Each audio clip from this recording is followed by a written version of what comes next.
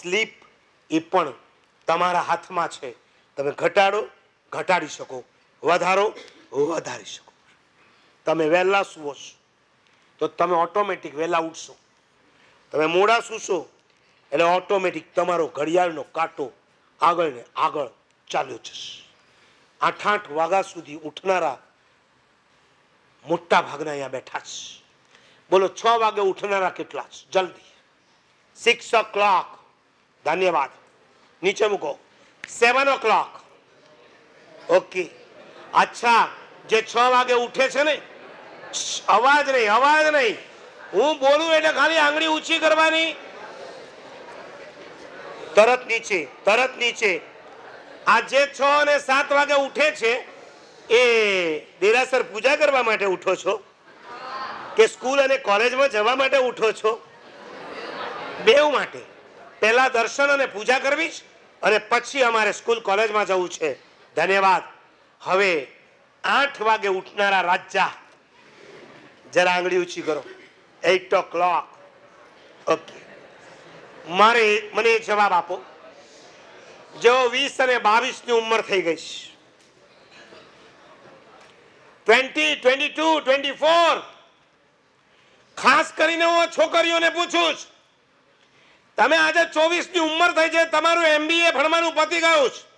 Fashion design jewellery design આવા બધા course પણ તમે પૂરા કરી દીધા છે. હવે તમારા મા બાપે જોવાનું સ્ટાર્ટ કર્યું છે. આવતીકાલ નહીં તો પરમ દિવસે તમારા મેરેજ થવાના છે. હવે જે તમારી પાસે છ મહિના, આઠ મહિના બચ્યા છે, એમાં તમને એમ ન થાય કે અહીંથી હું સાસરે જઈશ?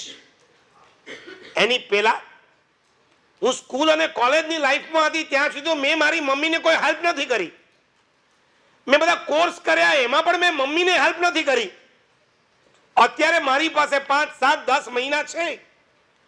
તો લાવ, જે માએ મારા ઉપર આટલા બધા ઉપકાર કર્યા છે, એ મમ્મીને બે બે બે, ચાર મહિના જે પણ મારી પાસે મળ્યા છે, એમાં હેલ્પ કરું.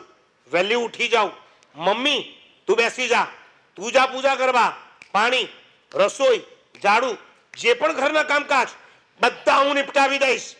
આવતીકાલે, આજે આ કરશો, આવતીકાલે તમે જ્યાં જશો ને, ત્યાં તમને કામ લાગશે. અને અમારું કાંઈ નહીં કર્યું હોય. અને જ્યારે સાસરે જશો ને, અને ત્યારે તમારી સાસુ તમને ઉઠાડશે. બેટા, ઉઠો. ચાલો, કામે લાગો. ત્યારે તમારા મોઢા કેવા ફૂલી ગયા. તમને એમ થશે, હું ક્યાં ભરાઈ ગઈ? તમારી મમ્મીને તો હું કહું છું, પણ આજે તમે જ્યારે લાગમાં આવ્યા છો ત્યારે મારે તમને કહેવું છે. ઉઠો. એક અડધો કલાક વહેલા ઉઠો. તમારી મમ્મીને હેલ્પ કરો. આખા દિવસની અંદર તમે અડધો કલાક રસોડામાં જઈને તમારી મમ્મીને હેલ્પ કરો છો ખરા? કોણ કરે છે?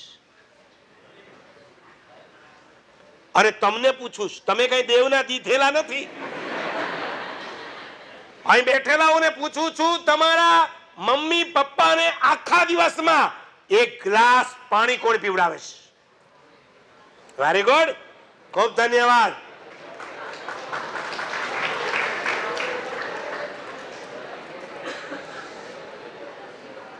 સ્કૂલ, કોલેજ અને ડિગ્રીઓ મળ્યા પછી તમે લોકોએ તમારા ઘરના કામ બંધ કર્યા છે. તમને હવે શરમ આવે છે. એક બાપે પોતાના છોકરા પાસે પાણી મંગાવ્યું, બેટા, પાણી લાવ. છોકરો આમ ખાનદાન ઘરનો હતો એટલે પાણી લઈને ગયો. છલકાતું છલકાતો ગ્લાસ લઈને ગયો. પછી પપ્પાને પાણી આપ્યું. પછી ધીરે રહીને કીધું, પપ્પા, ગાંધીજી બધું જ કામ પોતાની જાતે કરતા હતા. આવું સંભળાવવા માટે તમે પાણી આપો છો?